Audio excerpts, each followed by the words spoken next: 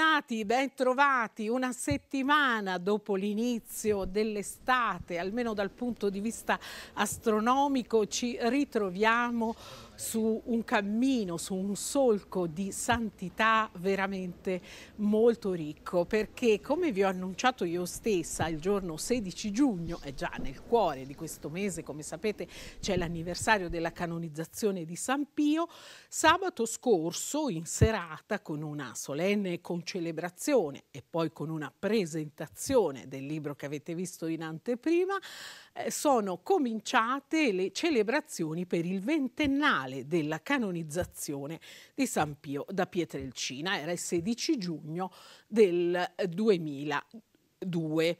E dunque tre anni dopo tra l'altro la beatificazione quindi in tempi relativamente veloci e abbiamo ricordato anche il perché con quel meraviglioso racconto sempre emozionante di un miracolo che ha dato un ulteriore suggello a una santità il cui percorso è sempre un cammino complesso, ricco anche di umanità. Avete visto già delle immagini, continuate a vederle, a presiedere è stato il cardinale che eh, il più esperto attualmente nell'intera Chiesa Cattolica per quel che riguarda la santità, perché infatti Marcello Semeraro, è, eh, che ha aperto appunto questo ventennale, è il prefetto della Congregazione per le cause dei santi. Tra poco lo rivedremo e lo ascolteremo, ma intanto voglio subito, perché non si ponga ten tempo in mezzo, salutare Anna Maria, che so che è già pronta in San Pio. Eccola. Ciao Anna. Sì, Maria Pia. Ciao Maria Pia, grazie a te e ben trovati a tutti i telespettatori. Buon inizio settimana. In effetti io sono già pronta, mi hanno già raggiunta gli ospiti eh, con cui oggi ci intratterremo subito eh, dopo, insomma appena mi darai tu di nuovo la linea, perché parleremo, visto che comunque gli esami sono finiti e visto che tutti noi abbiamo avuto una notte prima degli esami, insomma vogliamo eh, raccogliere e ascoltare la testimonianza di due giovani maturati maturati, se si può dire così. Allora, eh, incontreremo anche un professore di religione perché vogliamo sapere un po' come sta andando la situazione, se ne parla tanto, qualcuno ancora dice che questa materia deve essere abolita, però insomma controlliamoci su quello che diciamo. Noi siamo qui pronti, vediamo già tantissimi eh, pellegrini in chiesa San Pio. Siamo pronti per eh, restare con voi fino alle 11.30, orario della Santa Messa, quest'oggi presieduta da Fra Giacinto De Gianni. A te Maria Pia. Grazie, grazie Anna. Avete sentito anche i suoi riferimenti sia letterari che cinematografici a quella notte prima degli esami. In effetti io forse sono una delle poche che non ha avuto incubi dopo aver svolto appunto il compito di quello che mi piace chiamare esame di Stato più che di maturità. Ma noi invece adesso ritorniamo a sabato sera perché vi faccio ascoltare un breve stralcio dell'omelia del Cardinale Semeraro. E unita alla fede, alla parola, c'è la conoscenza. Cos'è questa conoscenza di cui parla San Paolo? Non è un'intelligenza che gonfia, un sapere che gonfia, che esalta se stessi, ma la conoscenza interiore, la conoscenza profetica, la conoscenza capace di scandagliare il cuore umano e di soccorrerlo. Di Padre Pio è noto, era peculiare, era specifica proprio questa profonda conoscenza interiore dell'animo umano, una conoscenza così caratteristica in lui da permettergli di conoscere le intenzioni di quanti lo cercavano, prima ancora che iniziassero a parlargli. E molti poi uscivano dal suo confessionale meravigliati per la descrizione esatta del loro passato o per il suo sguardo sapiente sul futuro. La sua voce profetica però vibrava anzitutto in riferimento al presente delle persone, quel presente su cui solo Dio conosce ciò che è meglio. Parole molto belle, sicuramente nel prossimo numero del mensile Voce di Padre Pio avrete modo anche di leggere il resto, ma noi adesso diamo subito la parola al padrone di casa, cioè il ministro provinciale della provincia religiosa di Sant'Angelo e Padre Pio, la provincia dei Cappuccini confratelli di Padre Pio, perché il momento dopo la celebrazione di presentazione del diario spirituale di Monsignor Valentino Vailati è stato appunto aperto da alcuni saluti, il primo del quale di Fra Maurizio Placentino.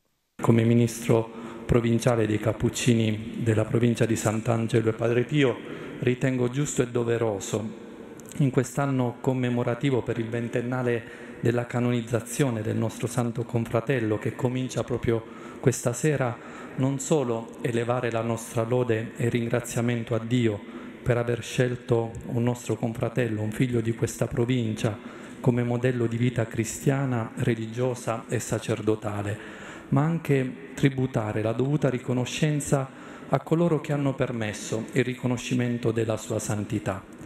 La santità è un cammino divino, nasce dall'elezione di Dio, ma è anche un cammino pienamente umano, perché coinvolge il protagonista nella sua interezza, ma non solo il protagonista, la santità coinvolge la storia, la geografia, i luoghi, le persone, tante persone che ruotano nell'alveo dell'eletto.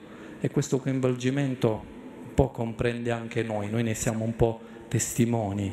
Ed è un coinvolgimento che supera anche i limiti del tempo.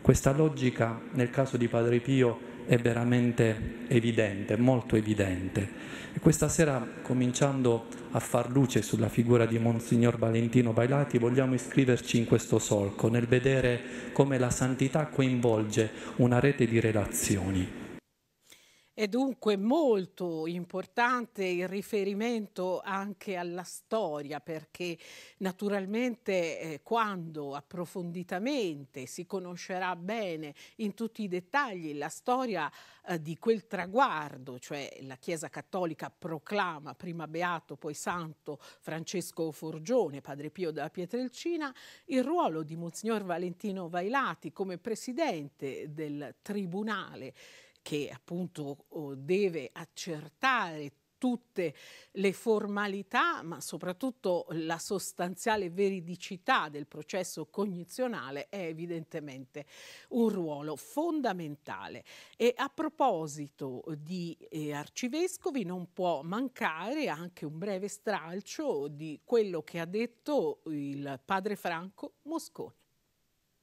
È un testo molto contemporaneo e moderno, direi quasi al giorno. Vorrei leggere come saluto un passaggio che è dell'ottobre 1984, è l'anno della mia ordinazione, quindi è un anno che sono andato a cercare in modo particolare. Scrive così, lo vedo proprio al giorno, eh, con quello che si dice eh, nell'opinione pubblica e, e sui mezzi di comunicazione. Roma, Assemblea straordinaria della CEI, tema revisione del concordato e povertà del clero. O santa povertà, così bella quando non ci sei e così temuta quando ti avvicini. È una frase, a mio giudizio, non solo lapidaria, ma che veramente ci lapida ecco come Chiesa. Quante parole dette, scritte negli anni post-conciliari sulla Chiesa dei poveri o sulla Chiesa povera. E anche Sua Eminenza nell'omelia prima è partito proprio di lì, come caratteristica di Padre Pio ma della Chiesa. Abbondante la letteratura sulla, sulla povertà, piuttosto scarsa ne è la pratica, anche per noi religiosi. Lo vedo frequentando anche gli ordini e congregazioni religiose. Il clero giovane poi come giudica, apprezza la povertà evangelica e termina con una domanda che rimane ancora attuale. E come sempre Padre Franco ci aiuta ad entrare dritti dritti nelle questioni essenziali della Chiesa di sempre, anche la Chiesa di oggi. Quella Chiesa che è fatta anche di arcivescovi emeriti come Monsignor Domenico Umberto D'Ambrosio che ha curato appunto, sia pure con alcuni collaboratori, uno dei quali il nostro direttore, la edizione così bella che vi abbiamo presentato del diario spirituale eh, di Monsignor Valentino Vailati e naturalmente non poteva essere eh, che lui a dirci qualcosa di molto interessante su questa figura. Il titolo che lo leggete sulla copertina è molto bello e significativo. Cos'è il diario per lui? Perché scrive il diario? Per un controllo della mia anima. Questo è il titolo del diario ed è così. Leggendolo è proprio vero che c'è questo esame continuo tra la chiamata e la risposta. La lettura di queste pagine eh, ci definiscono la, struttura, la statura di chi era Monsignor Vailati, un uomo di Dio scritto, consegnatosi a Cristo e alla Chiesa, in una fedeltà che si rinnovava ogni giorno e che nel dipanarsi della contrastata vicenda umana sapeva scorgere sempre il piccolo seme della parola della, che dilatava gli spazi della speranza. Mongeverati era l'uomo che si lasciava guidare dalla grazia del Signore. I suoi giudizi erano sempre intessuti nella ricerca di quella parola che dava ragione a questa sua serenità molto chiare queste parole, molto interessante ovviamente il riferimento anche allo studio eh, di tutte quelle pagine di cui ha parlato D'Ambrosio, avete potuto seguire in tanti certamente. Ecco, qui rivedete l'ennesima volta ed è giusto che lo facciamo, questo libro così interessante proprio per tutti tutte le sue accezioni, non solo storiche, ma soprattutto appunto spirituali. Ma chi ha tenuto la relazione principale è stato colui che ha scritto anche l'introduzione a questo diario, ovvero il cardinale Marcello Semeraro. Sentiamo. Lo ricordo sempre, ecco, direi un signore, sempre gentile, sempre accogliente, sempre disponibile. E leggere le pagine di questo diario mi conferma nel pensare che questo non era soltanto un tratto esteriore, ma anche e più ancora uno stile di vita. Avere tra le mani il diario spirituale di un sacerdote e poi anche di un vescovo sempre mm, molto significativo, molto importante, anche perché accade nella vita spirituale, accade sempre qualcosa di simile, di analogo a quanto avviene nella vita fisica, nella vita morale, nella vita intellettuale. Non si nasce e non si cresce mai da soli, ma sempre in un tessuto, in un contesto di relazioni.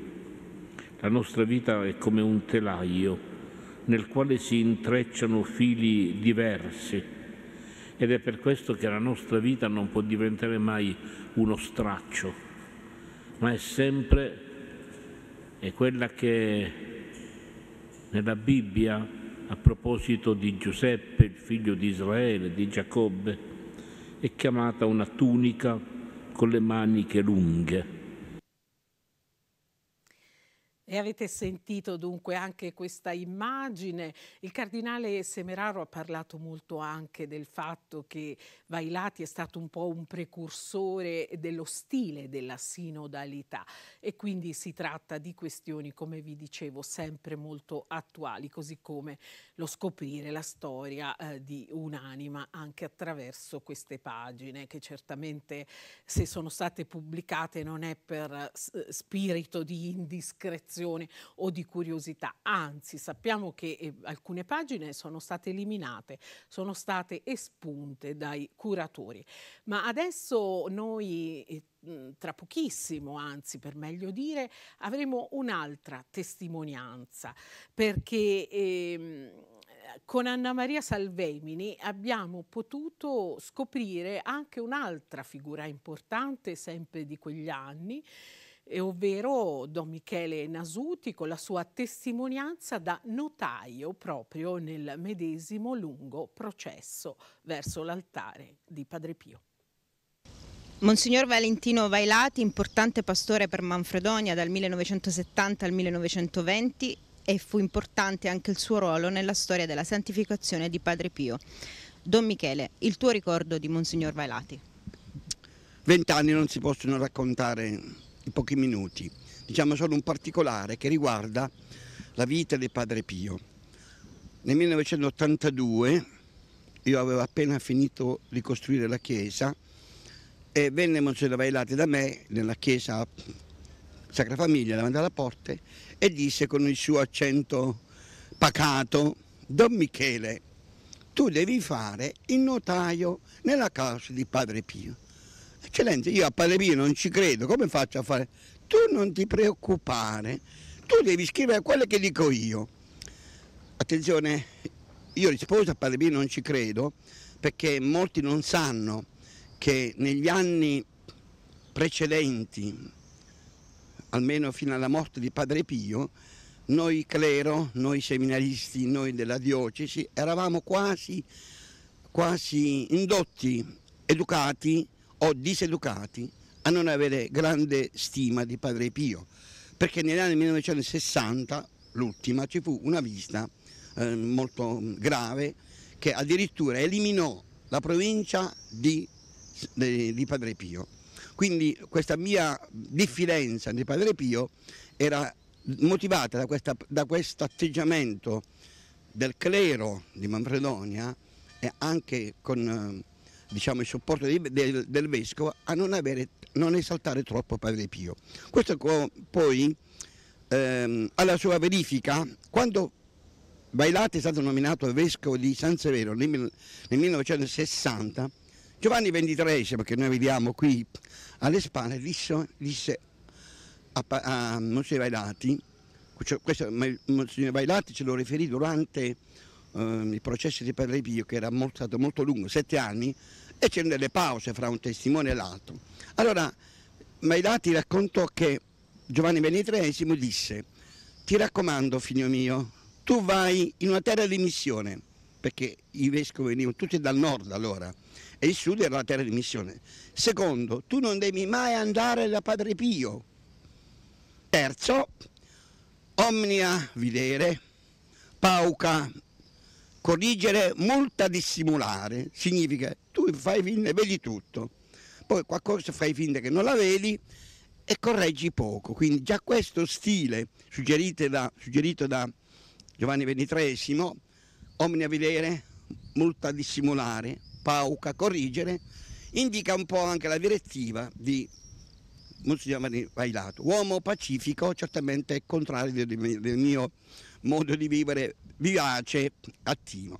Quindi ho avuto questo, questa gioia, questo onore di essere nominato notaio nella causa del Padre Pio, che è durata sette anni. Quindi durante questi sette anni ehm, quasi ogni settimana ci si vedeva con l'arcivescovo, con tutto il tribunale e io ero addetto a scrivere, ahimè, a mano, perché allora computer eccetera eccetera non c'erano queste cose qui e quindi si scriveva così. Non, non è importante il mio atteggiamento di, verso Padre Pio, se è cambiato come è cambiato, naturalmente, perché, ma è importante che, padre, che Valentino Vailati abbia avuto fiducia di Padre Pio, perché alla morte di Padre Pio, io c'ero ai funerali, eravamo un'infinità di preti, tutto con la veste allora avevamo, e qualche vescovo, questo poi lo dicono loro, quelli che sono più documentati di me. E sicuramente lo spirito di Don Michele Nasuti è sempre inconfondibile, così come preziosi i suoi ricordi, ma se ci è sembrato un tuffo un po' nel passato, forse anche perché abbiamo visto una sfilata di figure maschili, sappiate che non è così. Subito dopo gli spot avremo un ospite che ci racconta anche di cosa significa avere appunto un carisma tutto al femminile promosso proprio da lui, da Monsignor Vailati. Vi aspetto. Grazie a un ospite in studio. È eh, Suor Paola Barenco, ben arrivata. Grazie.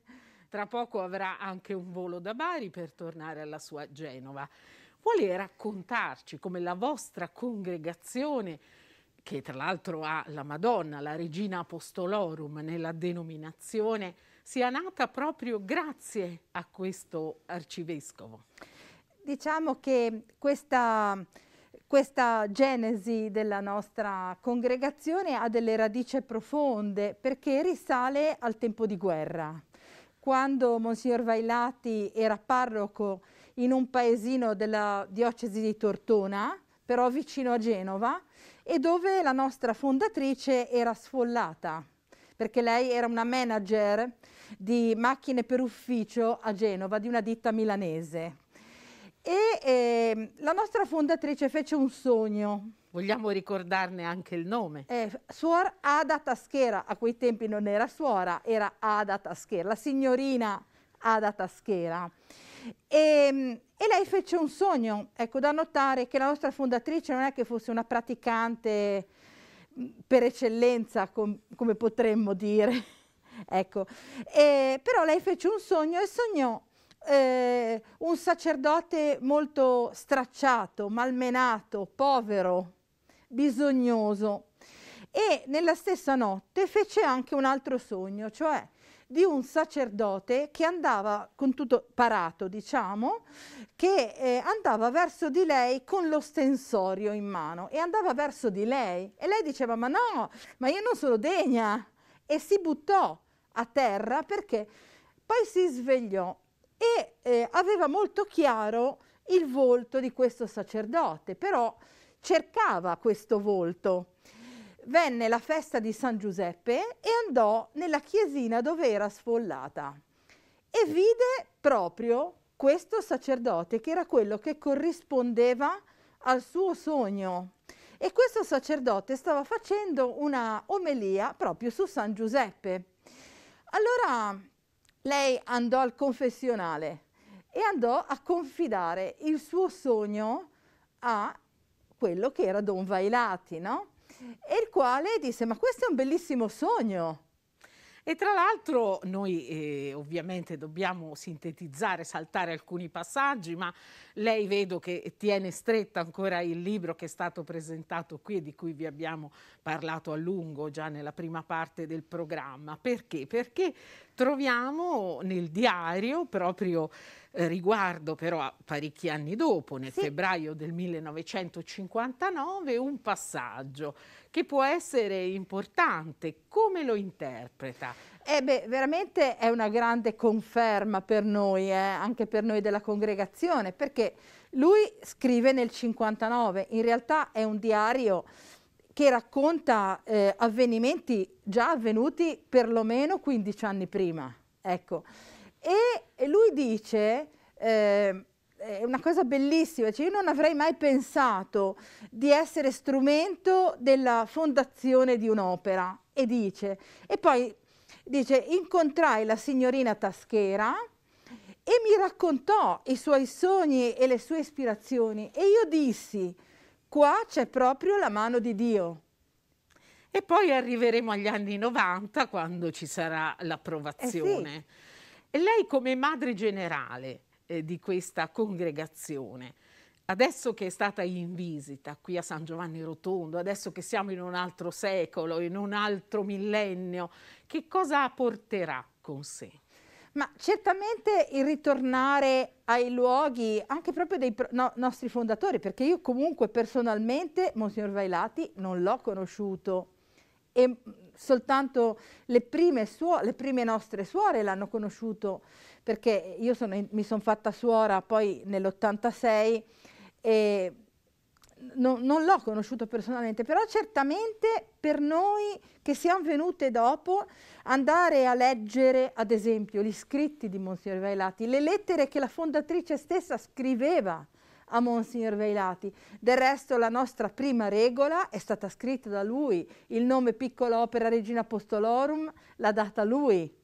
Ecco, per cui per noi venire oggi e eh, ascoltare e, e, rileggere, perché io me lo sono letto anche prima di venire qua, certo. il, il diario, veramente è un grandissimo dono, perché per noi eh, ritornare alle nostre radici significa ritornare proprio alla fonte, poi alla fonte dello Spirito Santo, perché comunque il fatto che Monsignor Vailati riconoscesse nell'ispirazione della fondatrice un dono dello Spirito e lui stesso desiderava fare qualcosa per i sacerdoti, cioè è veramente ritornare ad ammirare quanto il Signore è buono e quanto eh, è proprio lo Spirito che eh, genera gli incontri, che li fa proprio incont- fa incontrare due ispirazioni simili. Prima di salutarla e di darci appuntamento quando la provvidenza vorrà per riparlare della vostra opera, del vostro carisma, lei tiene un diario spirituale o meno? Io? Sì. Auguri allora, perché abbiamo imparato tanto sul significato di queste parole che a fine giornata mettiamo su carta. Grazie, grazie, grazie, grazie a, a tutti. Paola Barenco. Ma per noi invece adesso è il momento di viverla intensamente questa mattinata, anche grazie a quel collegamento in diretta che già vi avevamo promesso nel saluto iniziale. Andiamo nella chiesa a San Pio dove ci aspetta Anna Maria Salvemini. A te Anna Maria, grazie. Grazie ancora a te Maria Pia. Sì, ci ritroviamo qui in Chiesa San Pio non con dei pellegrini, ma possiamo dire con dei concittadini di Padre Pio, perché ho a fianco a me un professore di religione di San Giovanni Rotondo. Benvenuto Luigi. Buongiorno a tutti. E due ragazzi. La maturità 2021 visto impegnati circa 500.000 candidati, non c'erano le prove scritte, si è svolto in presenza, noi abbiamo due di questi 500.000, sono Andrea e Antonio, bentrovati, grazie per essere venuti grazie qui. A voi, buongiorno, buongiorno a tutti. Allora, sì, qua dobbiamo fare un po' il giochetto con il microfono, devi andare di qua e di là. Siamo a dire il vero non all'aperto, oggi abbiamo detto addio alle mascherine all'aperto, siamo insomma a metà tra il chiuso l'esterno.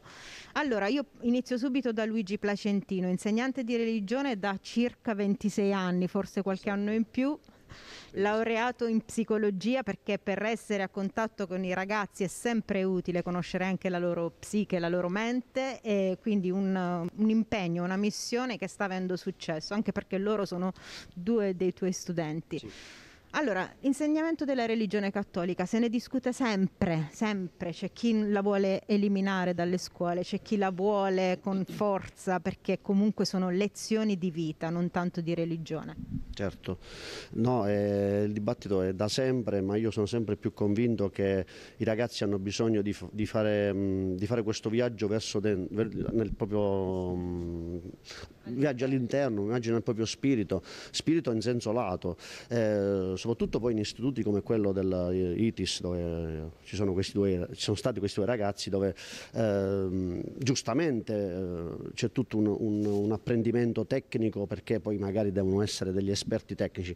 Maggior ragione l'uomo ha bisogno di altro e secondo me la religione se vissuta in un certo modo, la religione a scuola può offrire questo altro. Sono convinto di questo e io mi sforzo per, per, per fare questo, insomma, per stimolare questo viaggio dentro loro stessi che poi significa anche riflessione, significa anche eh, percepire che la realtà è molto più estesa di, di, di, quella che ci vogliono far immaginare, cioè che devi essere produttivo, devi produrre, devi creare prodotto, certo è importante ma forse l'uomo ha bisogno di altro, insomma, e religione può offrire quest'altro. Ecco, insomma, il risultato poi è visibile agli occhi di tutti perché un professore di religione che riesce a portare due ragazzi in piena estate qui in Chiesa San Pio dovevano, potevano stare tranquillamente anche al mare o comunque a divertirsi o a riposarsi, invece hanno deciso di venire qui e dare la loro testimonianza. Io ad Andrea e ad Antonio chiedo quello che forse vi chiedono tutti in questo periodo, no? soprattutto dopo la maturità. Cosa volete fare da grandi? Andrea. Beh, il mio obiettivo è quello di andare all'Università di Scienze Informatiche perché sappiamo anche, l'abbiamo visto anche con il Covid, con questo periodo, quando sia importante l'informatica al giorno d'oggi, ce la troviamo ormai dappertutto e poi è un campo che piace a molti giovani soprattutto perché è un settore che fino a pochi anni fa veniva sottovalutato e finalmente c'è stato un qualcosa per valorizzarlo e quindi sono felice di contribuire in questa avanzata di questa tecnologia che farà passi da gigante. Loro sono due pezzi da 100, eh? me li ha presentati così il professor Luigi Placentino, da 100 perché sono usciti con una maturità di 100 su come funziona su 100 Congratulazioni anche da parte mia, da parte di tutto il nostro studio. C'è Maria Pia che fa le congratulazioni a voi. Io, Io sono la zia dei 300. Lui... Quando un anno hanno Scusa. avuto l'esame di Stato appunto in tre, dicevo sempre tutta l'estate, io sono la zia dei 300. Quindi colgo l'occasione per fare un saluto anche a chi però non è arrivata al massimo, come ad esempio io stessa, ai miei tempi era in sessantesimi e arrivai solo al 56. A Vabbè, te, evitiamo questo discorso, evitiamo questo discorso. Anch'io non sono mai stata da 100. allora, vado da Antonio perché anche lui ha la passione per le, per le, scienze informatiche e ovviamente ci si è resi conto, come diceva lo stesso Andrea, di quanto sia importante. Noi ci, siamo, ci sentiamo un po' antenati, io, Luigi, il professor Placentino il tecnico che è dall'altra parte. Antonio, a te com'è nata questa passione? Ce l'hai sempre avuta? Perché la faccia un po' ce l'avete di chi ha sempre avuto questa passione. Sì, sicuramente è una passione che nasce sin da quando si è piccoli. Noi siamo una generazione che è nata con eh, i dispositivi informatici sempre a portata di mano, quindi sicuramente la curiosità è nata sin da piccoli. Sono passioni che nascono ovviamente da quando si è piccoli ed è un settore che anche a livello lavorativo può dare molti sbocchi lavorativi.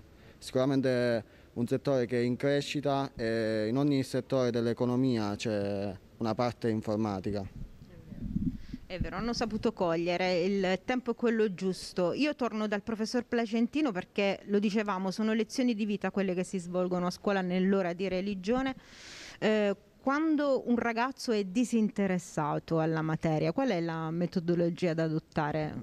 Eh. Sarà, sicuramente ti sarà capitato di incontrarli. Bella domanda. Eh, proprio, secondo me l'abilità sta nel, nel, per, nel stimolare quel, quella nota che fa capire che stiamo lì per la sua vita.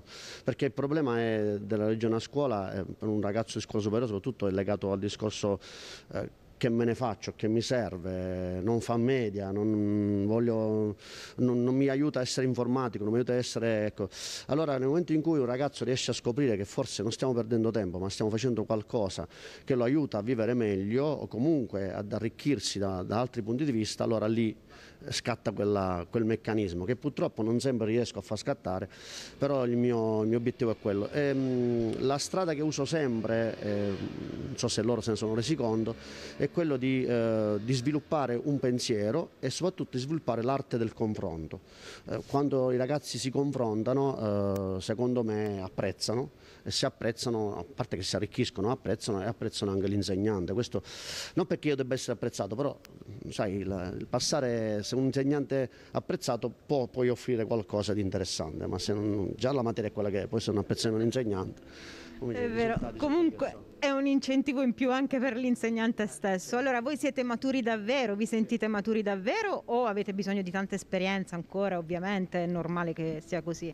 Certo, un po' di esperienza non guasta mai, però ci sentiamo abbastanza pronti perché questo è il periodo in cui dimostrare veramente chi siamo e quindi dobbiamo cercare di aiutare tutti noi stessi, anche perché quando uno lavora per ciò che ama, per quello che è la sua passione, viene tutto più facile, quindi speriamo di essere maturi abbastanza, anche perché la maturità l'ha dimostrato, quindi speriamo di continuare con questo percorso. È vero, è così. Allora ad Antonio faccio l'ultima domanda, com'è stato mh, essere nell'ora di religione con il professor Placentino? Se dovessi dare un consiglio a tutti i ragazzi per scegliere, perché comunque ricordiamolo, la materia di religione è una materia che si può scegliere di fare e non fare, quindi ampia libertà.